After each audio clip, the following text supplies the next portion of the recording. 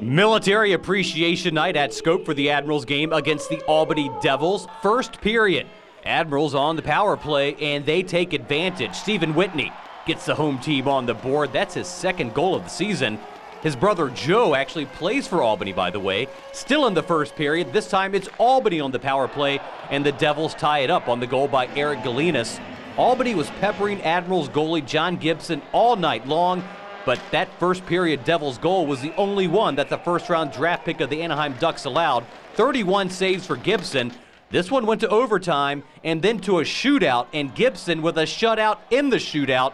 Admiral scored twice in the shootout to pick up the 2 1 win. Same two teams again Saturday night at Scope. Reporting from Scope, I'm Brian Parsons for the Sports Wrap.